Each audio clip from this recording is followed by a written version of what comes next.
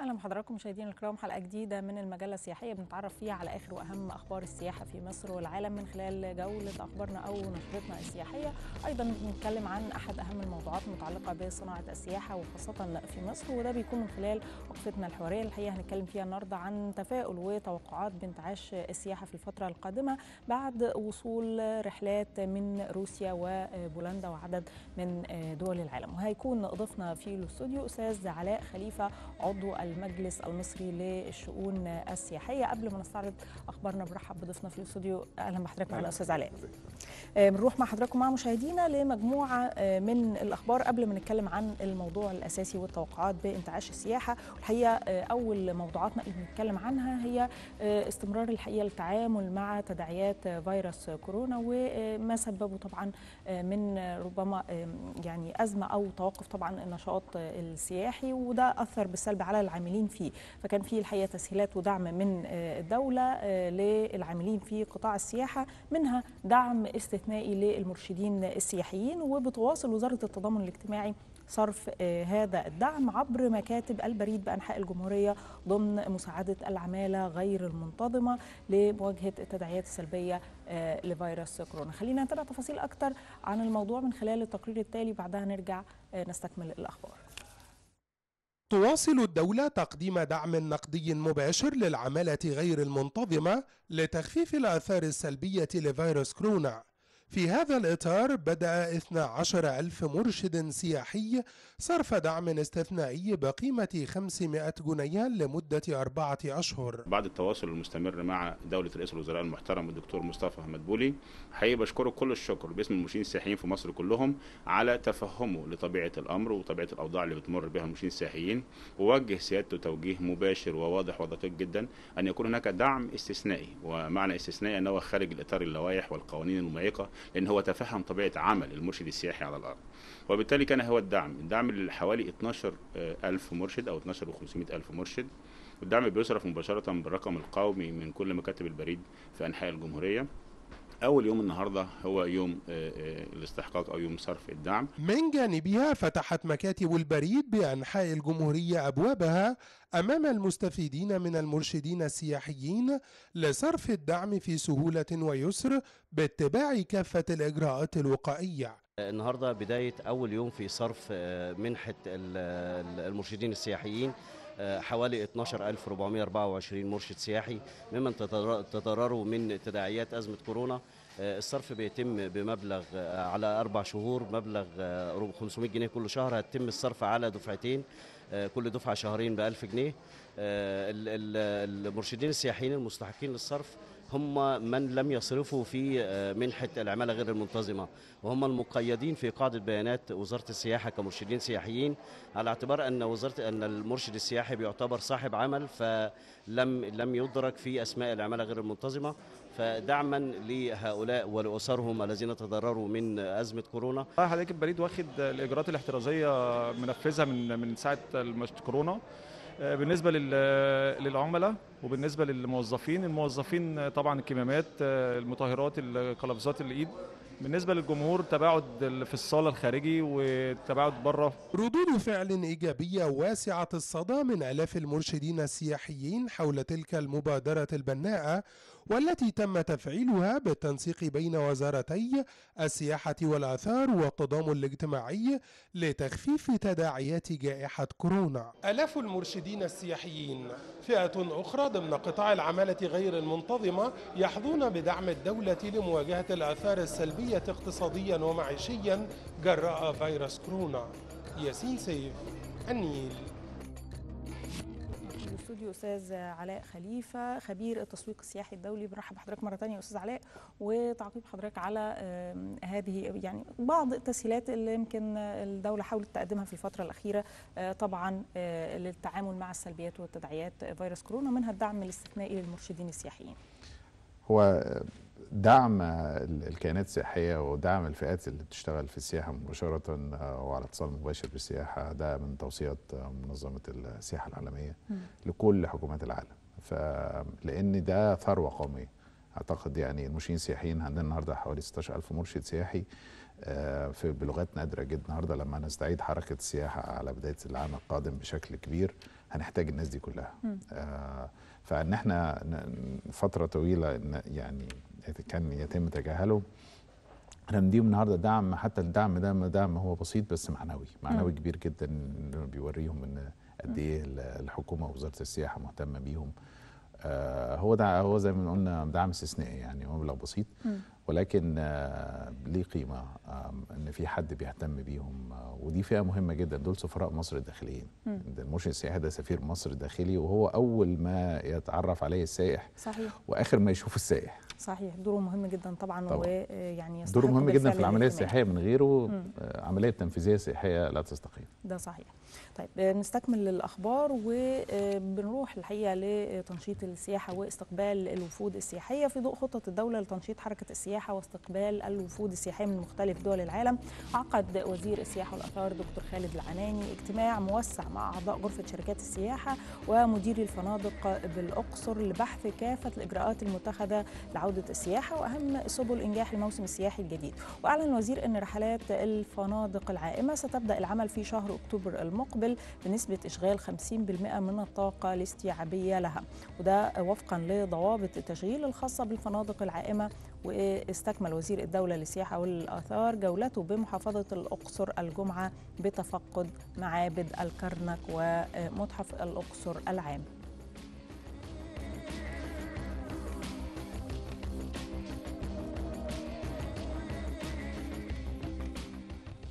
طيب أستاذ علاء الحقيقة يعني في بداية سبتمبر كانت آه، يعني آه، عودة آه، فتح الأماكن الأثرية والمتاحف على مختلف أنواعها أمام الزائرين مرة أخرى بعد فترة إغلاق طويلة وأيضا عودة الأقصر وأسوان والقاهرة للسياحة يعني الشهر الجاي إن شاء الله. صحيح طيب كيف تقيم هذه الخطوة آه، في إطار عودة السياحة بشكل كامل هي خطوة؟ طبيعية طبعا مم. آه طبعا إحنا بنتخذ جميع إجراءاتنا الاحترازية علشان نتأكد إن السائح اللي هيخش هذه المناطق يكون آمن تماما وزارة السياحة مشكورة بتبذل مجهود آه، رائع وزير السياحة بيتحرك في كل الاتجاهات كان لازم إن إحنا نفتح مناطق البحر الأحمر آه، أو نفتح في البداية خالص السياحة الداخلية ك step 1 step 2 نفتح مناطق البحر الأحمر السياحة ال- ال- ال- العالمية ونوري الناس إن إحنا عندنا مناطق آمنة ثم بعد ذلك نتوسع في فتح للسياحة الثقافية خلي بالك السياحه الثقافيه عانت معاناة شديدة جدا الفترة اللي فاتت المراكب. اللي كانت واقفة في النيل مم. وال وال العاملين آه، ال- يعني أغلبهم آه، وصل لدرجة إن خلاص ما فيش شغل بقى لنا 8 9 شهور مم. فكان لازم نع- نعيد استهداف الحركة دي مرة أخرى ونعيد استهداف الحركة النيلية مرة أخرى بالذات ان إن نسبة الإصابات لفيروس كورونا في مكان زي الأقصر وأسوان قلت كتير جدا الفترة الماضية مم. فده كان مطلب كبير لمستثمري السياحة الثقافية آه، والحمد لله بالاجتماع الأخير والقرارات الأخيرة لوزارة السياحة تم وضع الضوابط آه، لنسب إشغال لا تتعدى 50% مم. ووزير السياحة والآثار آه، مشكورا آه، يدي كل الدعم للسياحة الثقافية وخلي بالك ال- السياحة الثقافية بتعتمد على جزء كبير منها على الآثار. فهو تنمية أو تسويق للآثار اللي فترة طويلة جدا كانت آه، مغلقة. إن شاء الله بإذن الله الشهر الجاي نسمع أخبار كويسة ونشوف المراكب دي ترجع تاني للعمل ونشوف ال- المجموعات ترجع تاني تنزل في مطار الأقصر. بس أنا كنت عايز يعني أوضح نقطة. يا ريت آه، اللي طبقناها على مدن البحر الأحمر في موضوع ال PCR ده يتم تطبيقه. برضو على الأقصر وأسوان أو الطائرات اللي هتيجي international للمناطق ديت.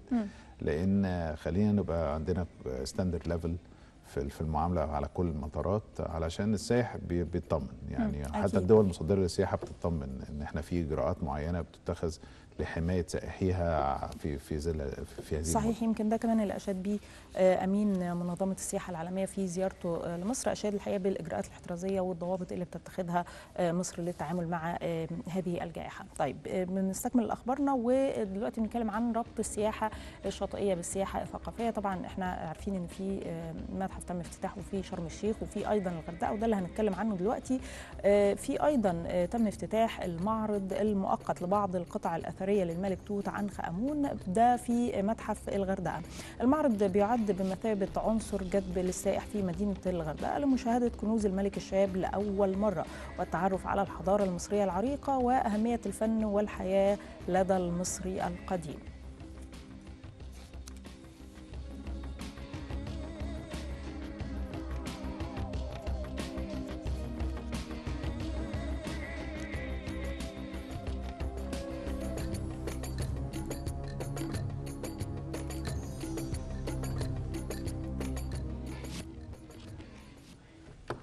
معانا أستاذ خالد محفوظ رئيس مجلس إدارة الشركة المشاركة في إنشاء متحف الغردقة. أستاذ خالد صباح الخير واهلا بحضرتك معانا.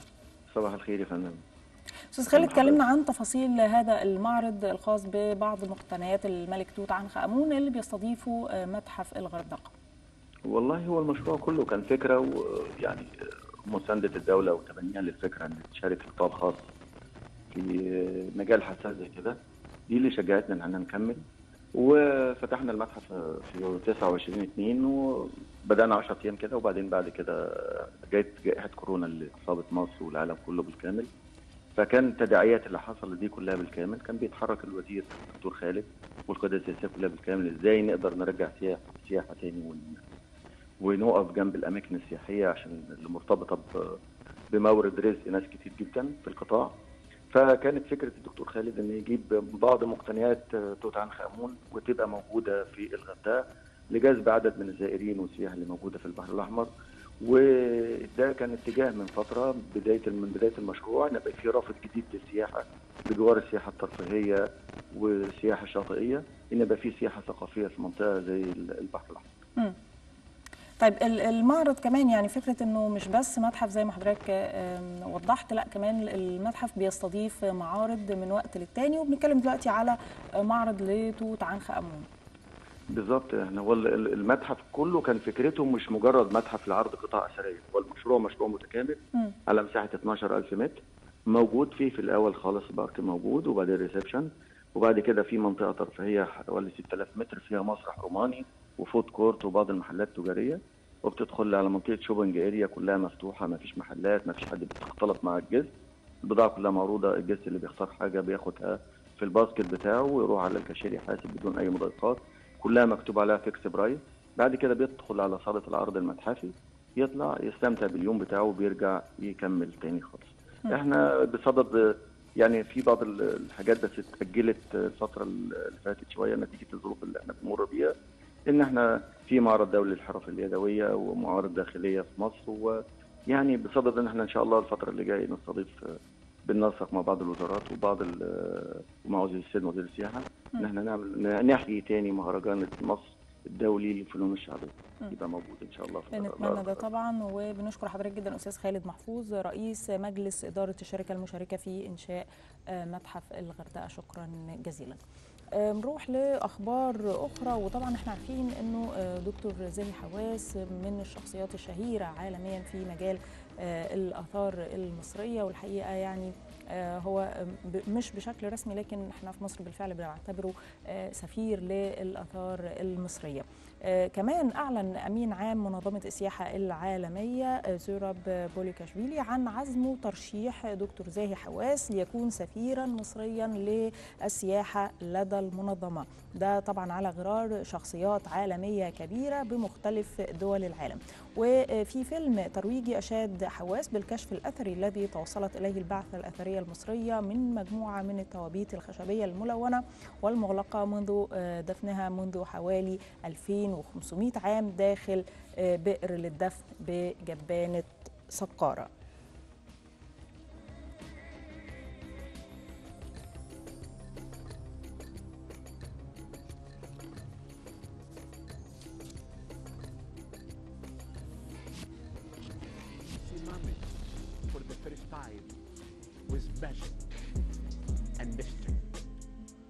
You will touch the Sphinx. You go to the Valley of the Kings and enter the tomb of Tutankhamun, who are excavating now in Saqqara and the Valley of the Kings, revealing secrets from the sand.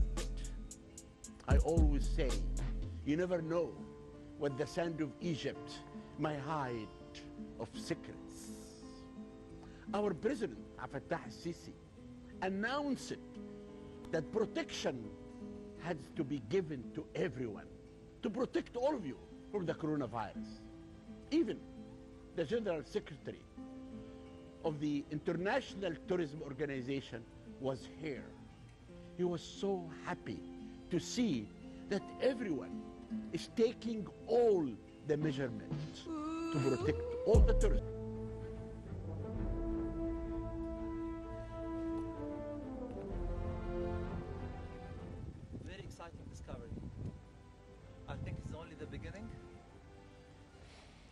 ده طبعا جزء من الفيلم الترويجي اللي تابعناه بيتكلم فيه دكتور زاهي حواس عن الكشف الأثري بمنطقة سقارة. نرجع تاني لحضرتك أستاذ علاء وأهمية إن إحنا يكون عندنا شخصيات آه، يعني علماء في مجال الآثار والسياحة المصرية قادرين إن هم يوصلوا للخارج زي دكتور زاهي حواس كده. إحنا عارفين طبعا إن هو آه، شهير ومعروف عالميا وهو بيتحدث عن الآثار المصرية.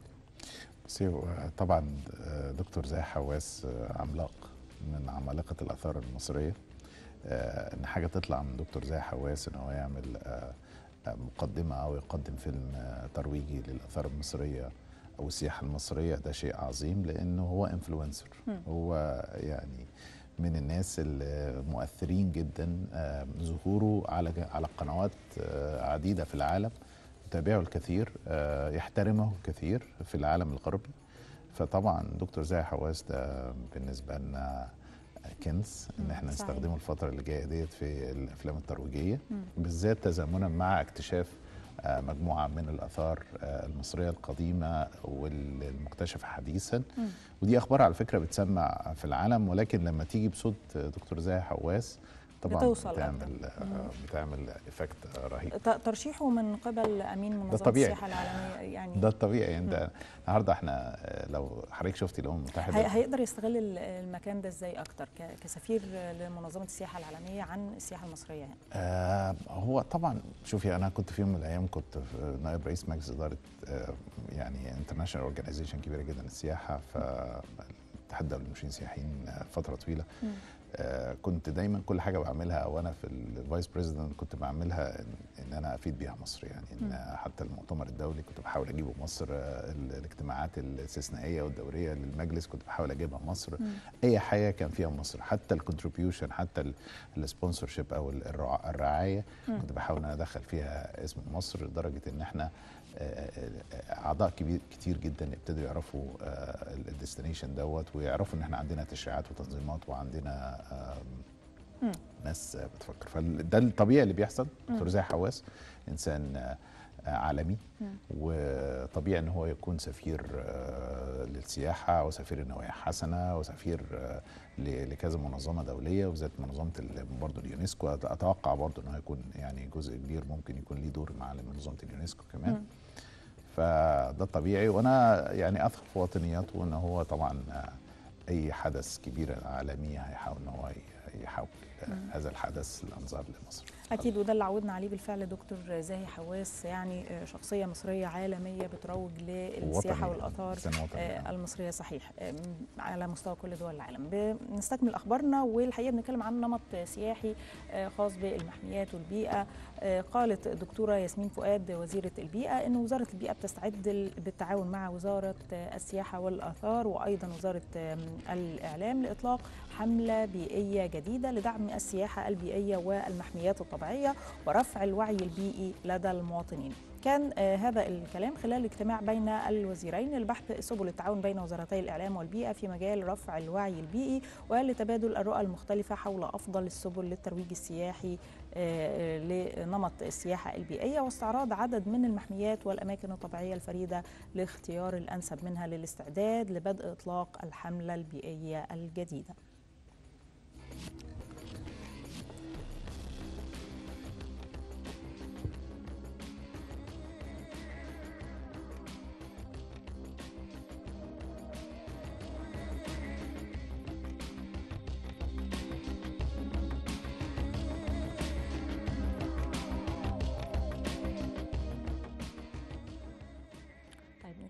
موضوعنا الأساسي النهارده وتوقعات بانتعاش السياحة في الفترة القادمة بعد الحقيقة وصول آه، رحلات جوية ما بين آه، روسيا ومصر وأيضا آه، في رحلات قادمة آه، من بولندا. طبعا إحنا عارفين إنه في بداية سبتمبر الحالي آه، ابتدت بالفعل السياحة آه، تعمل بشكل آه، يعني في اتساع أكتر وبتنفتح بشكل أكبر على عدد كبير من دول العالم.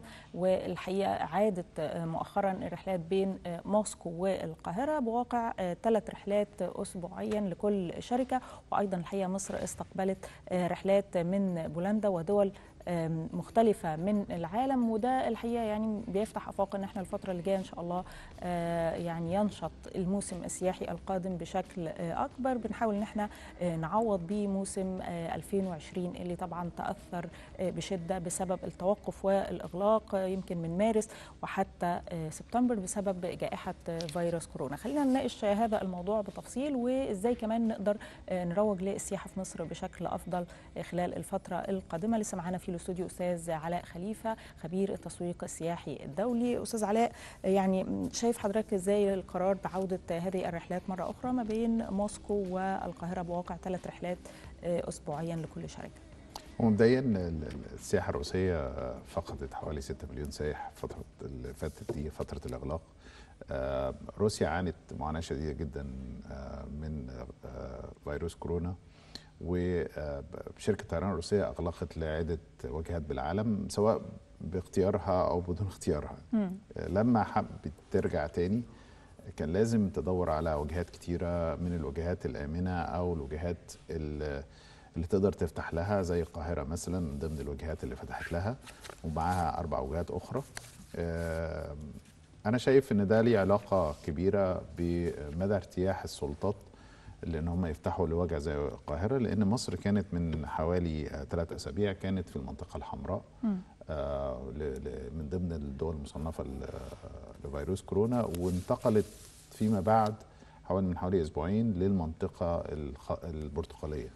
وده إنجاز كبير جدا إن شاء الله هننتقل للمنطقة الخضراء آه، قريبا. ده معناه إن حالات ال active cases اللي موجودة في مصر بتبتدي تتضاءل إن حالات الإصابات الجديدة بتتضاءل وكمان في آه، آم، سيطرة مش كاملة ولكن سيطرة على المرض. آه، عشان كده إحنا من ضمن الدول البرتقالية آه، لا إحنا في المنطقة الحمراء ولا لسه إن شاء الله هنخش المنطقة الخضراء. أعتقد إن ده إدى بعض الدول الدافع إن هم يقرروا آه، حركة الطيران مع القاهرة. ال- طبعا خبر رائع أن الروس قرروا ان هم يرجعوا تاني القاهرة آه، ده بعد مطالبات فترة طويلة جدا آه، وبنتمنى إن هو يلحقوا بعد كده إن هو يرجع السياحه لمناطق البحر الأحمر مرة أخرى لأن صعب إن إحنا نعتمد على بيلاروس أو آم، أوكرانيا. بس مم.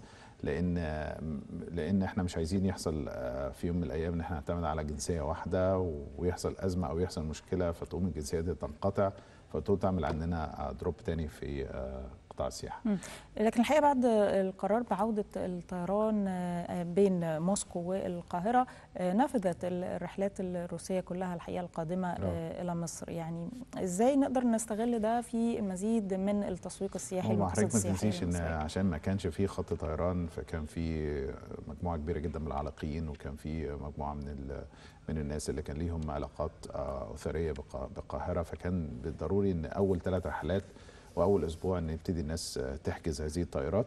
كله هيبان آه، في الفترة القادمة. آه، فترة دخول على أوائل الشتاء. هتبان جدا الطائرات ديت. ولكن أنا في في اعتقادي الشخصي إن م- مناطق البحر الأحمر هي مناطق جاذبة جدا للسياحة الروسيه وحتى لو هو نزل القاهرة هيطلع من القاهرة للبحر الأحمر. فيعني كتير جدا منهم كان بيعمل كده الفترة اللي فاتت. أعتقد آه، إن إحنا دي بداية آه، دخول السياحة الروسية أو رجوع السياحة الروسية بقوة آه، داخل مصر. ولكن طبعا لازم تبدأ بمطار رئيسي. وبعد كده هنبتدي على ال- المدن الثانية وأعتقد إن في دول كتيرة جدا بتعيد حساباتها النهارده إذا كانت مصر مقصد آمن أو لأ. وبرضه في نقطة السياحة الأوروبية سياحة هامة جدا بالنسبة لنا. فدي سياحة مش عايزين نتجاهلها. مش عايزين نتجاهل إن إن إحنا نعتمد على هذه السياحة لأنها سياحة في وذن الخمس ساعات اللي إحنا بنقول عليها الراديوس حوالين آه، آه، البلد خمس ساعات طيران. ده أفضل نوع من أنواع السياحة إن يجي لك من خلال من ساعتين لخمس ساعات طيران حوالين البلد. ده ده أفضل نوع من أنواع السياحة. ده اللي بيجي لك بأعداد كبيرة زي السياحة الألمانية زي السياحة الإنجليزية زي ال- السياحة الإيطالية. كل كل هذه الأنواع من من من آه، دول أوروبية مهمة جدا جدا لانتعاش الحركة آه، السياحية. طبعا السياحة الروسية مهمة جدا. آه، تركيا حققت 975 ألف سائح في من ساعة الفتح لغاية النهارده. طبعا مقارنة باللي إحنا حققناه حوالي 200 ألف سائح لأن إحنا كنا بنعتمد على جنسية واثنين تركيا فتحت لاكثر من 12 جنسية. آم، أعلنت مناطق آه، عندها ساحلية مناطق آمنة تماما خضراء آه، علشان كده إحنا في طريقنا لهذا الأمر لكن البعض كان بيشوف ده في مجازفة إنه يمكن بيجي على حساب الإجراءات ال- الاحترازية بشكل كامل أو مشدد هو كانت بتعمل بنحاول نفس الإجراءات تقريبا كمان. نفس الإجراءات الاحترازية اللي إحنا بنعملها ولكن هي الفكرة إن إن هي إن هي عملت فكرة أنا كنت يمكن اتكلمت معاكي فيها من فترة آه، طويلة إن إحنا بناخد مدينة أو اتنين وبنعلنهم مناطق آمنة خضراء. فبنعمل إيه قبل ما نعلن مناطق آمنة خضراء؟ بنعمل بنعمل test لجميع سكان هذه المناطق سواء عاملين سكان أي حد داخل آه هذه المدينة. نعمل test كامل ونطلع فيها النسبة. طلعت نسبة 99% طلعت آه، ما- ده اللي إحنا 95% عملناه بالفعل. في الغردقة و إحنا ما عملناش test لسه للسكان ولكن إحنا أعلنا إن ما فيش حالات. جديدة. آه، ظهرت آه، ولكن إحنا ما نعرفش مين دخل يعني يعني آه، عارفة مع حضرتك يبقى في حاجة اسمها سياسة ال- حاليا اسمها سياسة الممرات الآمنة اللي هي safe travel corridors دي السياسة اللي بتتبعها الدول حاليا ما بين بعضها وبعض لتبادل السياحة البينية. فعلشان نعمل ال safe travel corridors أو بيسموها بعض الأحيان ال travel bubble إن لازم يبقى في اتفاقات آه، دولية ما بين الدول السياحية وبعضها لمراجعة الإجراءات الاحترازية ما بينها وبين بعض. يعني انت لو بتطلب مني حاجة يبقى في معاملة بالمثل. لازم أشوف الحالة الصحية عندك عاملة إزاي علشان أنا أبتدي أفتح لك أو أقرر إن إن إن أنا أصدر لك مجموعة من السياح. لازم أزور يعني أنا كوزارة سياحة أو جهة تنفيذية لازم أروح أزور هذه الدول المصدرة وأبتدي بالفعل وزير مع- السياحه والاثار عمل ده آه في تشيك ويعني. عدد من الدول كان ليه جولة خارجية مؤخرا. معالي وزير السياحة بي- بينفذ سياسة الممرات الامنه دلوقتي. ده صحيح. إحنا عندنا بالفعل مش السياحة الروسية بس عندنا عدد من الرحلات السياحية من مختلف دول العالم ورحلات الطيران بعد آه، استئناف حركة الطيران مرة أخرى. بنتكلم عن كمان رحلات قادمة من بولندا عودة آه، الخطوط آه، الملكية فعلا. آه، الهولندية كمان تشتغل كخطوط طيران. حضرتك شايف مصر على كمان. صحيح. شايف حضرتك مصر على خريطة السياحة العالمية في الفترة اللي جاية إزاي؟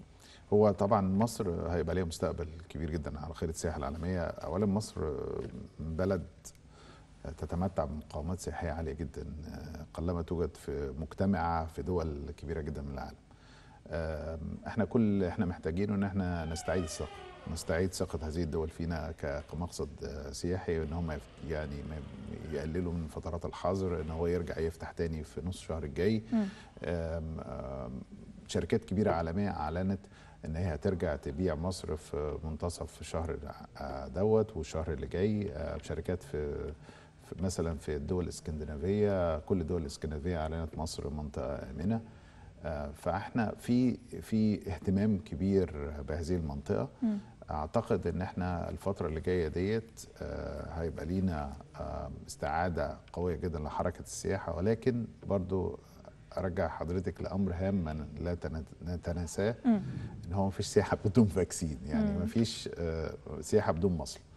آه، سياحة اللي إحنا عارفينها يعني. ال- بشكلها اللي قبل, آه، قبل كورونا. بالظبط مم. ال 200 ألف اللي عزمنا لغاية دلوقتي ده قطرة في بحر السياحة اللي كانت بتجيلنا مم. إحنا كان بيجي لنا تقريبا آه، مليون لمليون وربع سائح في الشهر. آه، النهارده وكنا كمان بنحاول إن إحنا نزود هذا العدد في الأجواء العادية 2 والظروف العادية كمان في الشهر. بالظبط. ف يعني إحنا نأمل إن هيظهر آه، فاكسين الفترة اللي جاية ديت آه، آمن. ونأمل كمان إن تتقدم التكنولوجيات الطبية للكشف عن الفيروس. ده مهم جدا على فكرة من أمريكا. لو تسمحي لي عندك وقت من أمريكا آه، سريعا بس يا أستاذ 10 علاء دقائق آه، أنا آسف من 10 حوالي من 10 أيام آه، ظهر شركة من الشركات الأمريكية الطبية العالمية عملت آه، كيت فحص يعني أو آه، بيسموها منظومة فحص.